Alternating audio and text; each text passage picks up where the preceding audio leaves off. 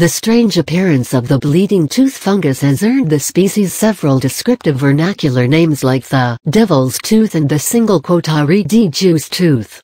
Buzzle brings you some interesting facts about this scary-looking mushroom. Did you know? The colorful pigments produced by Hydnellum species are used to dye textiles.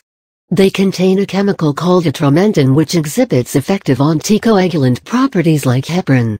Atramentin also carries useful antibacterial properties.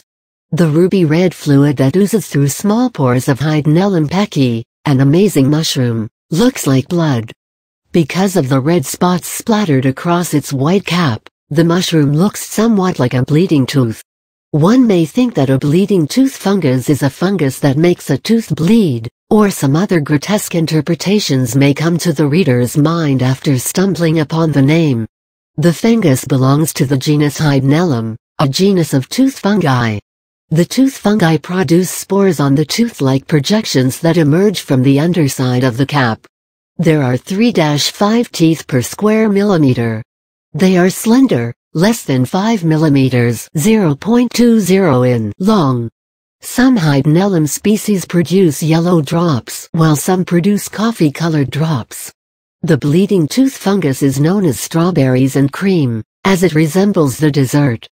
Due to the red droplets that are present on the pinkish or whitish young fruit bodies, the fungus has earned the names bleeding hydnellum and single quotari d juice tooth.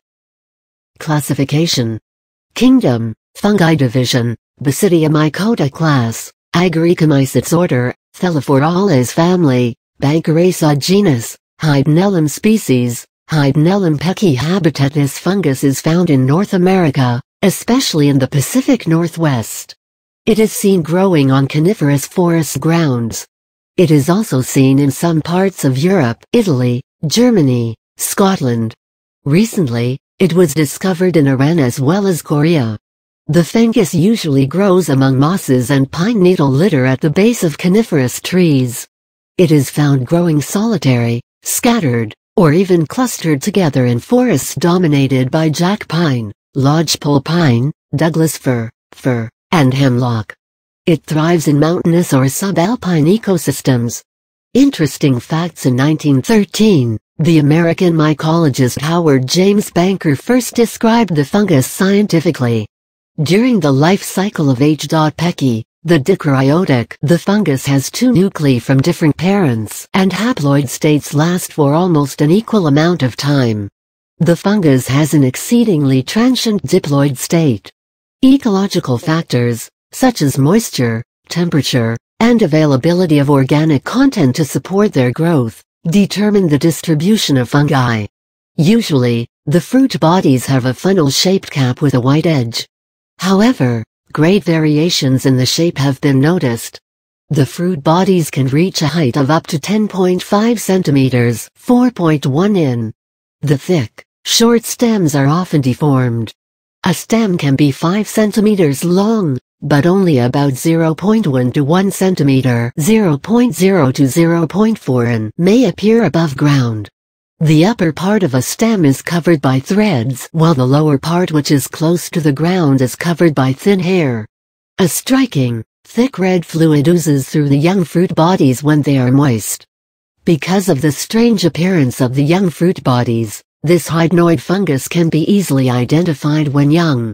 On maturity, it turns grayish-brown and loses its characteristic features.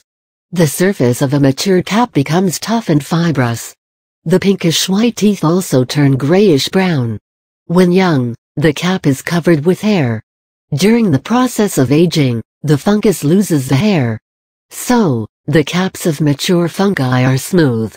The fungus comes with a cap and a stipe stem.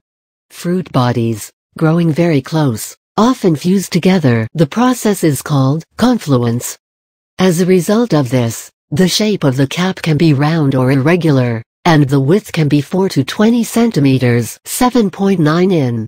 Both Hydnellum diabolus and Hydnellum peckii look similar, but Hydnellum diabolus comes with a pungent sweetish odor. The bleeding tooth fungus is a mycorrhizal fungus. It establishes a mutual relationship with roots of certain trees, hosts. The enzymes produced by the fungus convert the organic compounds into absorbable forms, and improve the plant's mineral absorption capabilities. In return, it gets fixed carbon from the host. This type of mutualistic association that is particularly beneficial to the host is termed as a mycorrhizal relationship.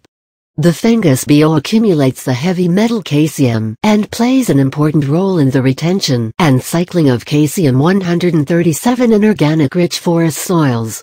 Is bleeding tooth fungus edible? The fungus comes with a mild odor similar to hickory nuts and is not poisonous.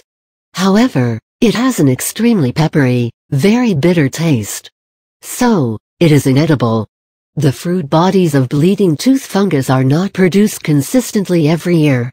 It should be noted that the absence of fruit bodies does not indicate the absence of its mycelium in the soil. So, counting the fruit bodies may not help determine the distribution of the fungus. With the help of polymerase chain reaction PCR, technology, scientists can detect the presence of fungal DNA in the soil and can assess the distribution of fungi.